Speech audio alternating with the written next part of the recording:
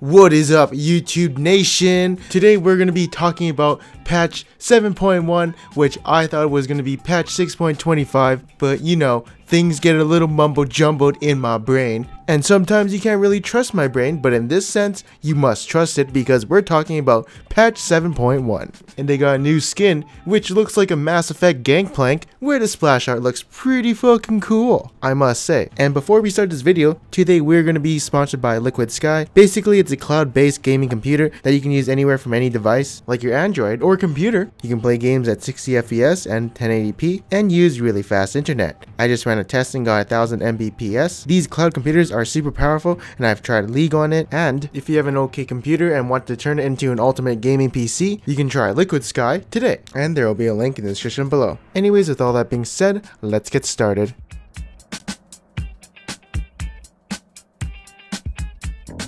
Alright, look at this skin. You know how I feel about skins? I don't feel like they're worth my money because I can get them free on the PBE. But this skin, oh, uh, to be honest, I only care about the splash art. I think the splash art looks fucking cool. The skin itself though, new sound effects, new animations, but the same old dances you can get with the normal GP, which is what I love. Ooh yeah, stroke that shit, motherfucking bitch. You looking fucking sexy today, you sly dog you. Mm-hmm, definitely the best skin coming out in this patch. Next up, Jingle Bells on my ass is gonna be Draven. Now, as you can see, he's getting massive buffs in this patch. He's probably gonna be super strong in this patch, I think. Hmm. As you can see, he's getting plus 30 to 50 on hit damage on his Q. Like, think about it, that's on hit damage and he still has his bonus AD ratio. So like, hey man, even if he goes 0 and 10 as Draven, you're still gonna hit hella hard. And I'm pretty sure if you get a certain amount of AD, you're gonna do more damage with your Q than it did in the last patch. So like, say you have,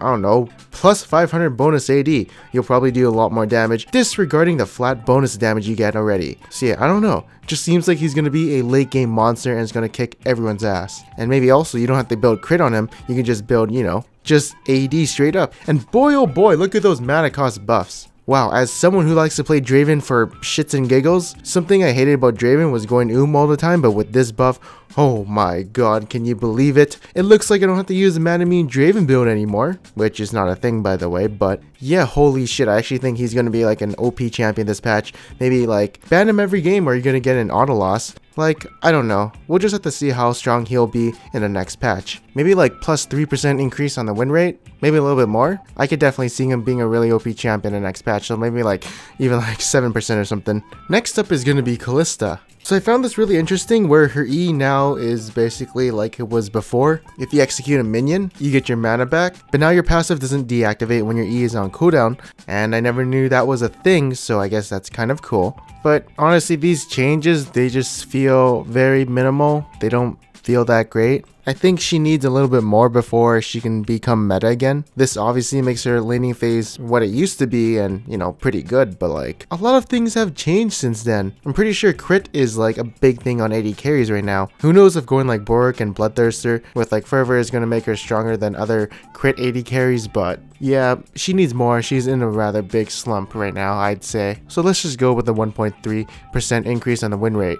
Next up is going to be Kennen. So his ultimate is being changed quite a bit, base damage going down, AP ratio going down, but you actually do more damage for each successive lightning bolt you hit on a person, and there's no more penalty for hitting the same person twice. And what they said with this nerf is he actually does the same amount of damage if they stay in the storm for that amount of time, but honestly, like, why the f- why, like, it was Kennen that OP? I don't think he was. Protobelt was nerfed. Um, I saw him a little bit, but like he wasn't borderline super strong or anything, so this is a weird nerf for him. There's also no compensation buffs either, so I'm just like, question mark? Hmm. Either way, let's go with the minus 1.5% on his win rate after this patch. Next up, one of the interesting nerfs of this patch is going to be Lee Sin's ultimate damage has been lowered by 50 and then 100 and then 150. So for the early game, I'm like, okay, you know, it's just like the Vi ult nerf they had a while ago, like a long time ago. And all you have to do is like one more auto and that's about it. But like his early game is his strongest point. His mid game and late game aren't the strongest. But like what the fuck? Why? No one cares about his mid game late game damage. And it's like 100 and 150 gone. That's uh that's a lot. I mean his ultimate is just for utility, but still, I don't know. Hmm, like I like the early game nerf, but the mid game late game ult nerf, that feels a little bit more than needed, but uh, let's just say he's going to be going down by 1.3%.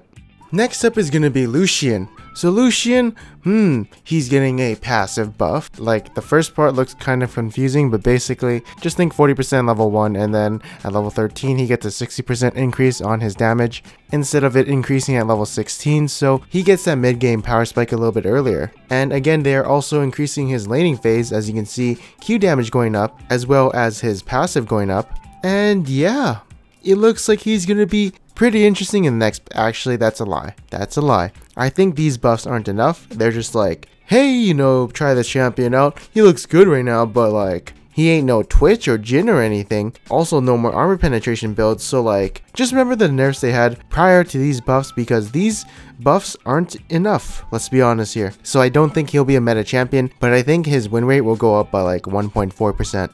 Next up in this patch, Poppy is gonna be getting a nerf. A pretty, hmm, small one kind of, but ooh, her passive going down to 3 seconds instead of 5 seconds, and now her uncharged R does 50% less damage if she doesn't fully charge it up. Mmm, mmm, that's uh, that's gonna be hitting her where it hurts. But like the 3 second duration on her passive feels kind of big, I mean, First of all, the shield itself is actually a huge shield, and so I feel like she won't be getting the full usage of it anymore. So like that's a definite hit to her. And yeah, 50% less damage on her R. That sucks because I feel like the uncharged part is the most used part of it, not the like fully charged where you knock them away. And even then you're not going to be killing them, you're just like knocking them away from you. So it's like, oh, that's cool. No more damage for me. Yay! But like, yeah. I guess minus 1.5% is good for her win rate dropping. That's what I think. And next up, Ryze is getting a nerf. As you can see, bonus movement speed going down by 10% at the last level, and his shield is weaker. So just small nerfs, again, like a small percentage drop in his win rate. Not a big one, but it's Okay, I, will be honest here. I don't really know Ryze too much. He'll probably still be in the meta, but like there's to be better champions like Ziggs or Malzahar or something that people could play instead. I think some people will still play him, but like why play him when there's better mid lane champions? So yeah, that's that's it for him. Next up is going to be Shyvana, a champion who dominates low elo. No one uses her in high elo and, you know, she's not that good, but apparently she is dominating low elo, so they're removing her 20% more damage to monsters, which is okay. Sucks for early game clears, but like, yeah, she had like a big, big win rate, but like this nerf is a little bit weird to me because there's champions like Vi, Ivern, and Hecarim who are much better than her. Oh no, this is a weird nerf to me. I feel like they should be nerfing Hecarim or something, but let's be honest here, if they nerf Hecarim, I'll probably be Diamond just like the rest of you guys. And now the long-awaited nerf you've all been waiting for, Syndra. Jesus Christ, look what's happening to her. Her level 5 W now does true damage, but she can't grab additional spheres anymore. Her WAP ratio, her WAP ratio has been lowered by 10%. The damage has been lowered by 10, just 10, but her ultimate cooldown Ooh, 20 seconds less to level 6. That's kind of big, I'd say. And after these nerfs happening, I'm going to call them nerfs because I feel like it is, I feel like her win rate will go down by 2.5%. The biggest one is going to be her cooldown on her ultimate at earlier levels because, I mean, 20 seconds less, that means you gotta wait a little bit longer till you can have kill pressure on your enemy or get that kill that you could have gotten, but, you know, 20 seconds hasn't gone up. And secondly, you won't have as much damage on your ultimate anymore after level 12 because your W doesn't pick up an additional two balls anymore as well as your E hitting less people since you don't have as much spheres on the ground anymore. So like overall, this champion may go down into the negative win rates, but yeah, 2.5% I think is a good number. Next up, we're going to be talking about Talon, but what's there to talk about? He's getting very minor buffs on his mana regen, and his healing on his Q is going up by like 2 and then plus 1 per level. Like, I don't think this is the problem with him. I don't know. He needs a bigger buff to come into meta, but right now he's just like a pretty bad champion, although very fun.